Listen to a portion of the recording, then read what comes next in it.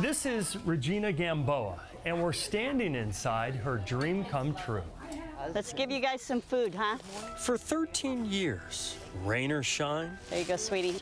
Regina Gamboa Thank you. fed the hungry. We've got cheese crackers, some more protein. When I met Regina on the streets, she told me her dream was to open a no cost food pantry.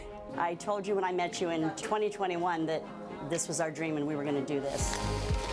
A few months ago, the Magnolia Project People's Choice Pantry opened its doors. It's for people that are suffering from food insecurities, but we don't stop anybody.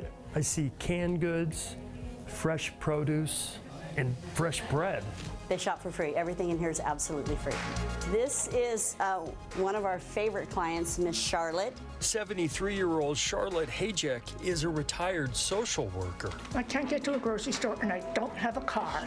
You want a couple of bunches? Charlotte didn't eat vegetables for three years until Regina started looking out for her. She's fabulous. Not only does Regina give away fresh food, We're going to add the eggs into the pan and we're going to start our scramble. So her chefs teach people how to cook with it. I didn't know how to cook before. Kim Alcantor still can't believe it's all free. I'm on a very limited income because I'm disabled, so I am on disability. So to go to the grocery store and get fresh fruit and vegetables has been very hard. It's so expensive. Regina wants to tackle food insecurity in the South Bay, but also a lack of nutrition. One in three Hispanics are diabetics right now, and we want to we want to change that trajectory. Yeah, I walked in here, I thought you guys were the chefs.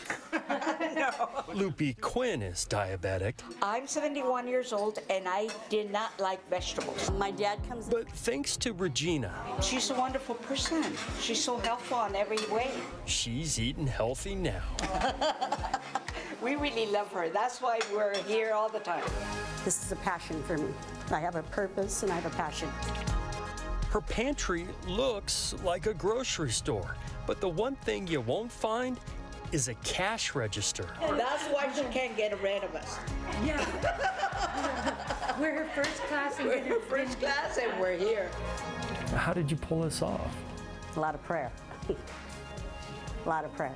Our Thumbelina carrots. In the Zevely Zone, This is Imperial Beach's sunshine spot. Jeff Zevely, CBS 8.